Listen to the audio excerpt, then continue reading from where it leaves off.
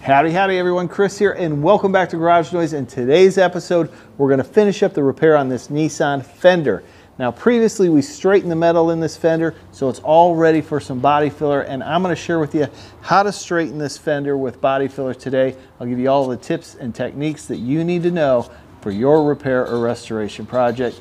Time to get in the garage and make some noise. Okay, so first thing we need to remove this headlight. We've got the gap all looking good.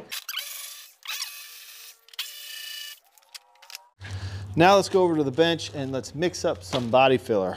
So we've got that fender all washed and ready for filler. This is the filler we're gonna be using today. This is the U-POL Lightweight Gold. I really do like this filler. It works out really well. I'm gonna scoop a little bit out. This shouldn't take too much filler, but I'll try and do it in one coat, but we'll see. Nothing wrong with doing two coats of filler.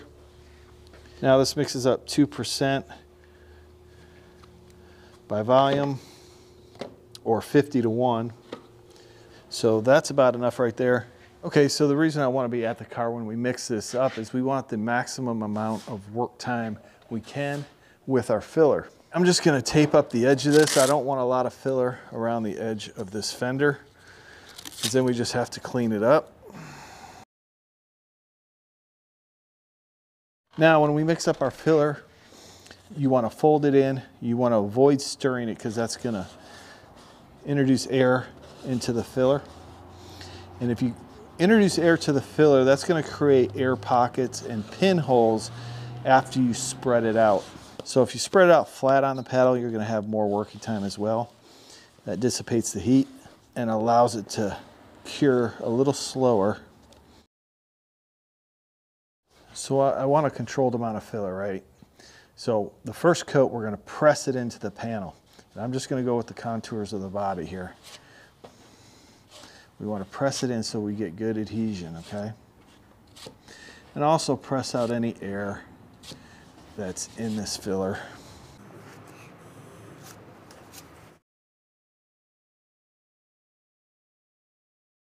As I continually go over this and coat it, I'll ease up on the pressure to allow that filler to sit in those low spots.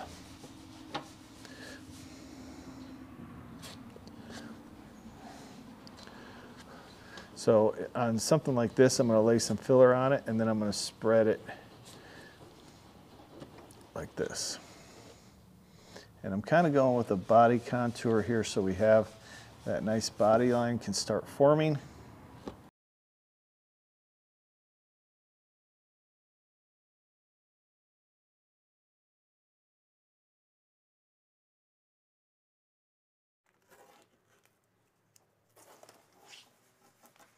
This is ready to be sanded now. It's cure enough. It's still a little bit tacky, but I'm gonna knock it down.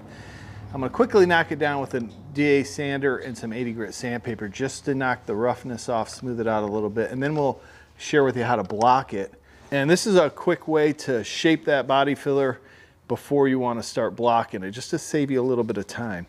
So when you're using the DA though, you don't wanna hold it flat when you have contours. You wanna move with the contours just to knock it down. Now, obviously this is flat right here, so we'll sand that out, but then we'll have to roll it with the contours.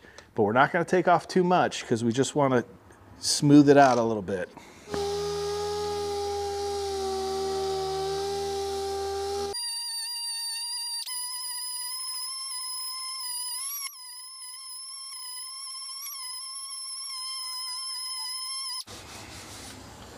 We knocked off the roughness just a little bit.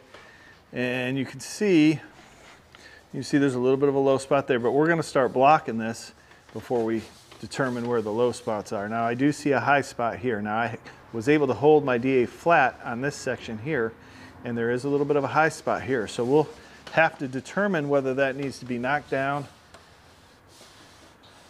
and it doesn't feel real out of whack. So uh, we'll probably, after we block this with 80, we'll put a skim coat of icing over this to kind of smooth out that transition. so I'm gonna get a block with some 80 grit on it and we'll block sand this out. So for this, I'm gonna use some 80. This is a Cubitron 2 sandpaper and I'm gonna use this short block And although this is not a flexible block, I can block with the contours of this panel. Let's put some guide coat on it so you can see what's going on. This is going to show us any high or low areas we have, help us to determine if this is panel is straight or not.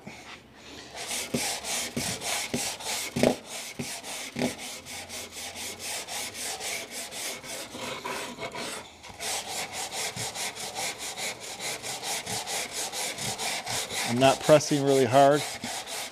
I'm going in different directions.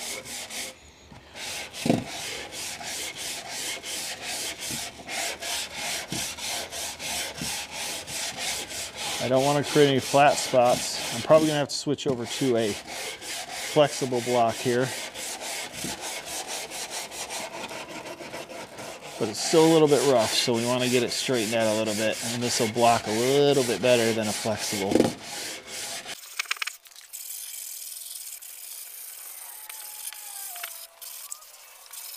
You don't want to block out too much filler.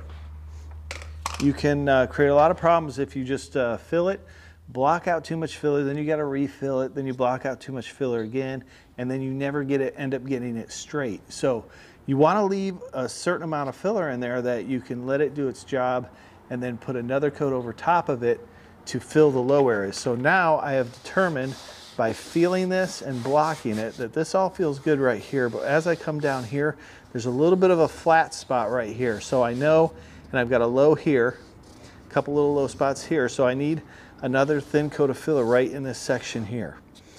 Um, this feels pretty good. I'm gonna address this little high area here. I am gonna tap that down just a bit, but I'm gonna tape off this body line here so we can keep that body line shaped and we'll lay some filler right in this section here and then we'll get that flexible block to block that down. I am going to use body filler on this um, instead of the icing. The icing is going to be a finish, uh, a product for finish sanding.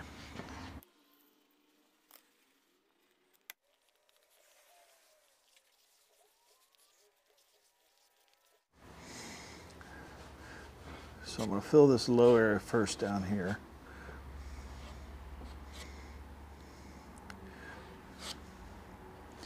It's kind of a weird angle, so.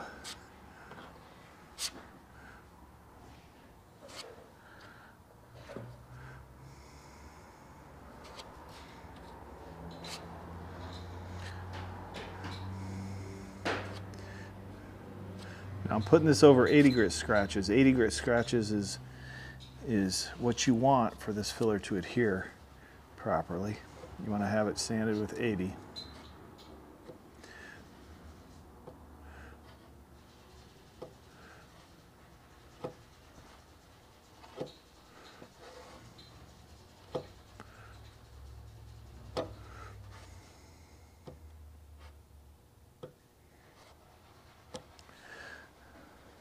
Need a little bit more here. I want to put a little extra in that flat spot so we can block it. There's a little bit of a low spot right here. So I'm going to fill that.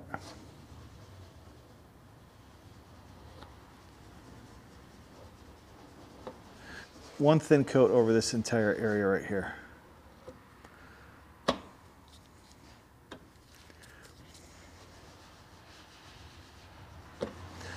All right. That's it. Now this is pretty much dry, but I'm just gonna go ahead and I've got this flexible block here. I'm gonna use some 80 grit on it. We're gonna hold it against the panel and block it. I mean, this isn't perfectly dry, but it's okay. See, now I can cover a larger surface area and get that con get that contour perfect. Now I'm not pressing really hard.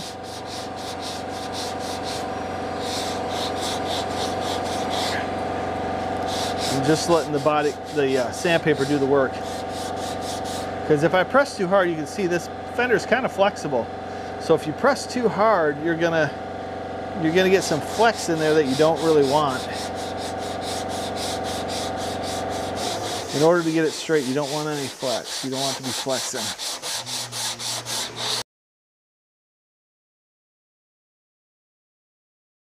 So even distribution of pressure over this entire block, that's important, okay? Sometimes it's a little difficult to do, but the best you can, you want to distribute even pressure over it. Close to the point where we just want to stop.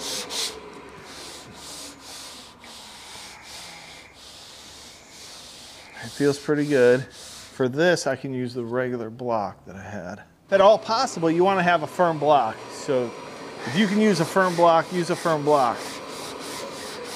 On those contours, you need a, you really need a flexible block.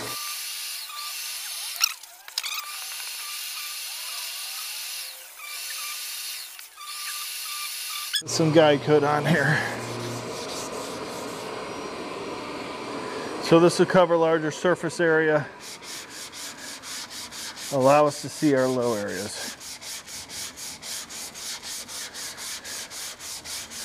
See, I know it's a little high right in through here.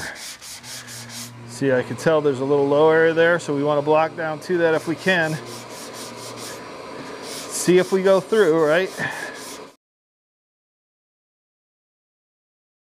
Okay, now all we need, we've got a couple little low areas here, but we're gonna fill a couple little uh, chips here, air pockets, so we've got a couple little pinholes here. We'll fill those, just one coat of icing, and this will be ready to go. And we'll sand that with 180 grit sandpaper. So I've sanded this with 180.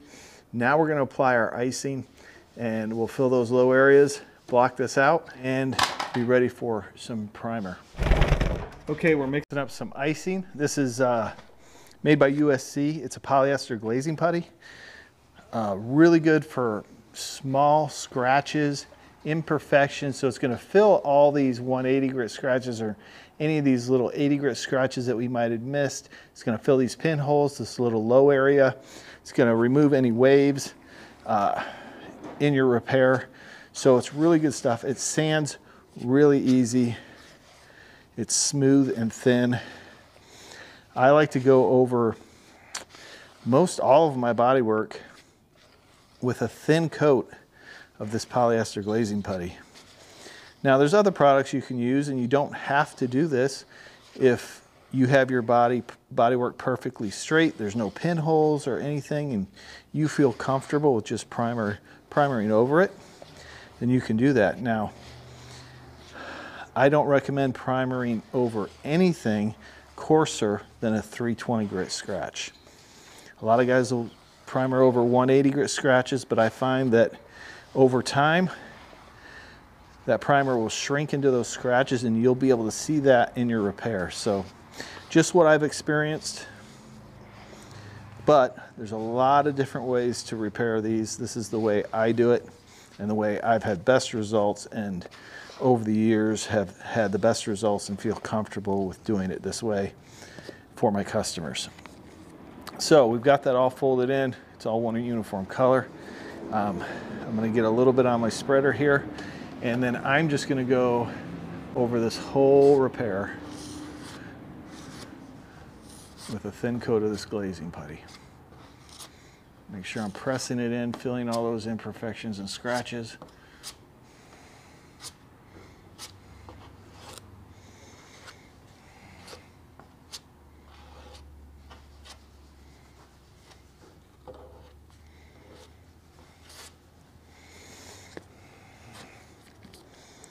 And most of this is going to get sanded off as well. But it's an important step to get enough filler in it. I don't like leaving a hard ridge over that. So what I'll do is like this.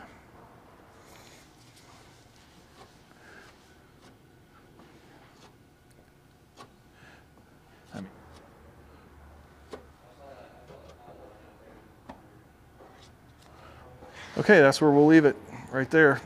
Okay, we're ready to block this out, get it ready for primer. We'll put some guide coat on here, show you what's going on. I've got a flexible block here so I can, it'll move with the contours of the panel with some 180 grit sandpaper. This sand's really easy with 180. So we'll just block it in an X pattern here.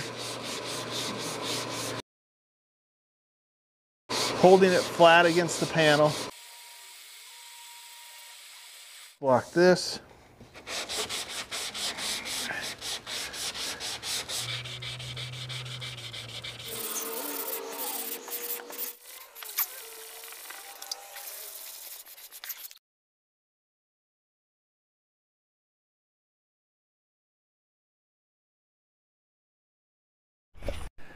Okay, so we've got some U-POL 2K primer here. This mixes up four to one to one. We got four parts primer, one part activator, one part reducer. It's a thinner primer, primer surfacer. We're gonna put two coats on this. We'll put one on, we'll let it flash off for 15 minutes and put another coat on, or 10 minutes. Um, we're gonna use the R500. Uh, low air pressure, we're gonna use about 20 PSI uh, two turns out on our volume and our fan pa pattern is going to be narrowed quite a bit. I'm not pulling the trigger all the way. I want to keep the overspray low.